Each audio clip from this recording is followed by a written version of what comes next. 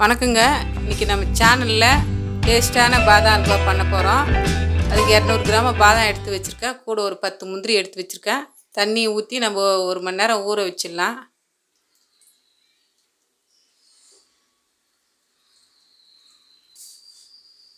இரநூறு கிராம் பாதாமுக்கு நூற்றி ஐம்பது கிராம் சர்க்கரை எடுத்து வச்சுருக்கேன். அஞ்சு டீஸ்பூன் நெய் எடுத்து வச்சுருக்கிறேன். நெய் வந்து நம்ம வீட்லேயே காசின நெய். இன்னொரு வீடியோவில் நெய் எப்படி காசுன்னு நான் சொல்கிறேன் கால் டீஸ்பூனு கேசரி பவுடர் எடுத்து வச்சுருக்கேன். வாங்க பாதாம் அல்வா எப்படி சேர்த்து பார்க்கலாம். ஊற வச்ச பாதாம் முந்திரி தோலை உரித்து வச்சுருக்கேன். இப்போ ஜாரில் போட்டு நம்ம சட்னி அரைக்கிற மாதிரி அரைச்சிக்கலாம் குறை குறைன்னு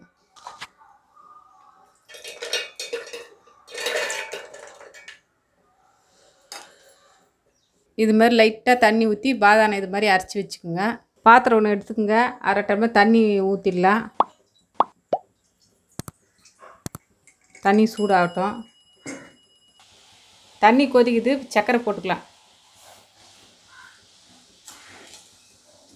இது மாதிரி கலந்து விட்டலாம்.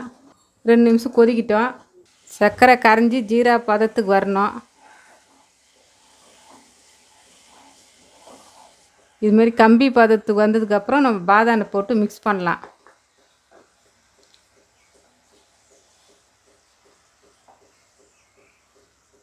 சிறு தீயில் வச்சுக்கணும் இப்போ.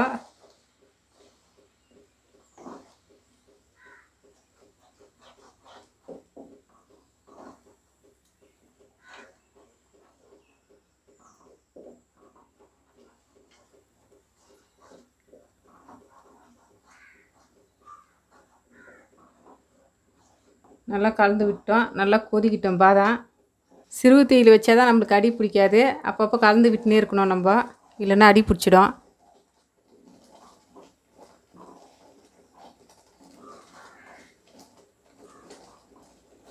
ரெண்டு மூணு நிமிஷம் பாதாம் அப்படியே வேகட்டுங்க. நம்ம கலந்து கலந்து உண்ணும் ஆனால் நடுவில்? கொஞ்சம் நம்ம பார்த்து இதை செய்யணும். ரொம்ப முத்திட்டாலும் நம்மளுக்கு பாதாம் அல்வா வேறு மாதிரி கெட்டியாயிடும். பக்குவமான பதத்தில் நம்ம பார்த்து எடுக்கணும்.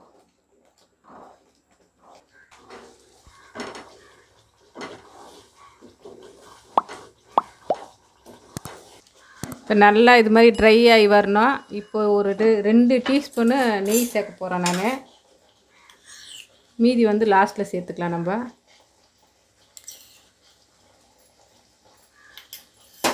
நெய் போட்டு நம்ம இது மாதிரி நல்லா கலந்து விடணும்.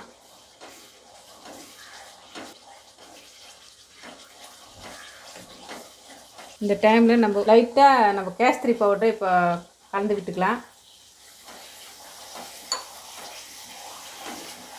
இந்த பாதாம் கலர் வரத்துக்கு தான் நம்மளுக்கு. பாதாம் எல்லாருக்குமே பிடிக்கும். உடம்புக்கு ரொம்ப நல்லது.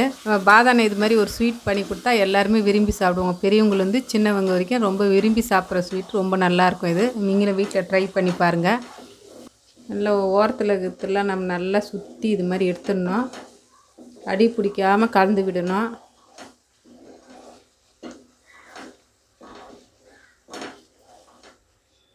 நல்லா ட்ரை ஆகிடுச்சு பாதாம் அல்வா. இந்த பக்கத்தில் தான் நம்ம எடுத்துக்கணும். இந்த பாருங்கள் இது மாதிரி இருக்கணும். இது மாதிரி இருந்தால் தான் நம்ம இறக்கணும். ரொம்ப தண்ணியாக இருக்கக்கூடாது. ரொம்ப முத்தவும் விடக்கூடாது இப்போ நம்ம நெய் போட்டு ஒரு வாட்டி கலந்துட்டு நம்ம கேஸ் ஆஃப் பண்ணிடலாம்.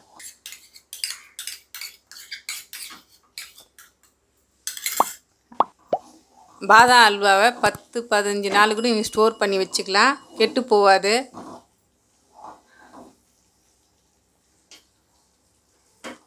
பாத அல்வா ரெடி ஆயிடுச்சு.